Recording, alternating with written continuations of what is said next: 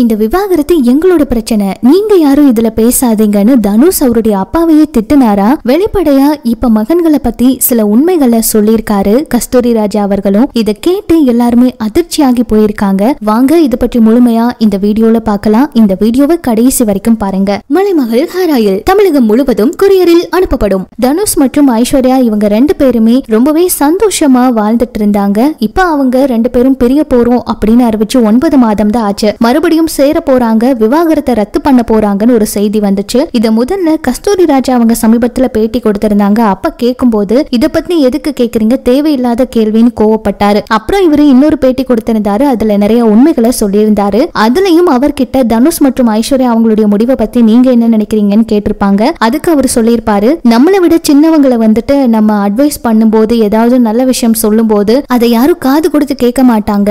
நம்மளவே ஒரு மாதிரி யோசிக்கிறாங்க. அந்த மாதிரி இந்த காலம் ஆயிருச்சு. அதனால நான் அதை பத்தி எதுவுமே கேட்டுக்கிறது கிடையாது. அவங்களோட வாழ்க்கை அவங்களோட சந்தோஷம் எதுவோ அதுபடி அவங்க முடிவு பண்ணட்டும். பசங்களை நான் அப்படித்தான் வளர்த்துருக்கேன். என் குழந்தைங்க யாருக்கும் துரோகம் பண்ண மாட்டாங்க. நம்ம இந்த விஷயத்துல போய் எதுவும் சொல்லக்கூடாதுன்னு அவங்க எதிர்பார்க்கறாங்க. அதனால நாங்க எதுவும் சொல்றது இல்ல அவங்க மகிழ்ச்சி என்னவோ அதுபடி பண்ணட்டும். அப்படி எது வேணாலும் நடக்கலாம். அவங்க ரெண்டு பேரும் சேர்றதுக்கான வாய்ப்பு கூட இருக்கலாம் அப்படிங்கிற மாதிரி தான் அவர் வந்து சொல்லியிருக்காரு. இவர் சொல்ற சில விஷயங்களை அவங்க கேட்கறது இல்ல அப்படின்னு வெளிப்படையா இவர் சொல்லியிருக்காரு. தனுஷ் அவரே அதை வந்துட்டு ரொம்பவே வெறுத்திருக்காரு அப்படிங்கிற மாதிரி தான் இவர் சொல்லியிருக்காரு. ஸோ இதை பார்த்த ரசிகர்கள் அப்பா நல்லதுக்கு தானே சொல்லுவாரு. இதை ஏன் தனுஷ் வந்துட்டு எடுத்துக்காம போயிட்டாரு அப்படின்னு எல்லாம் கூட நிறையவே பேசிக்கிட்டு இருக்காங்க. இது பற்றி உங்களுடைய கருத்துக்களை பகிர்ந்துக்கங்க. மேலும் இது போல இன்னும் நிறைய தகவல்களை தெரிஞ்சுக்க நம்ம சேனல் கூட இணைஞ்சிருங்க.